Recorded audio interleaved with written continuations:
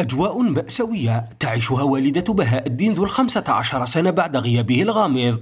بهاء الدين الذي لم يترك سوى رسالة بلغها أخوه الأصغر فحواها أنه كره المعيش بالبيت ولا يريد العودة في ظل الأجواء المشحونة التي تمر بها علاقته مع الوالد لتتحول حياة الوالدة إلى رحلة بحث في كل ربوع الولاية. نقرا له ما جاش.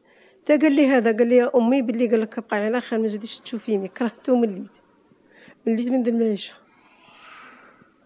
بصح قولوا تعامل الله واحد ما يضربك وواحد ما يهدرش معك. قول له غير لي برك. قول له قلت لي يا أمي ما نروحش وخليك وراح هذه. قلت لي يا أمي كون انت ما, ما نقعدش حتى دقيقه قول له روح تجي وليدي. قول له والله واحد ما يهدر معك.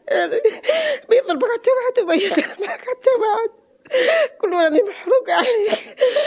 كل روح أباها أباها والله واحد ما يهدر معك. هذا وتعيش عائلة بهاء الدين حسب بعض المقربين حياة بائسة بسبب الظروف المادية ما يرشح فرضية عدم تعرضه للاختطاف. وراه غير تحوست عليه هما انسان قلالين أنا نحسب ملي كان صغير مسكين يبيع الساشيات يخدم في السوق يخدم غير على جلبه يكسي روحو وراه ما يحوسوا عليه إن شاء الله اللي يلقاه يتصل بمو parce que راهي دايره تصويرتو في الفيسبوك وراه دايره ال numéro تاع التليفون تاعها. أمل كبير يراود عائلة حواس في إيجاد بهاء الدين وبين تعقب وترقب تبقى الأمال معلقة.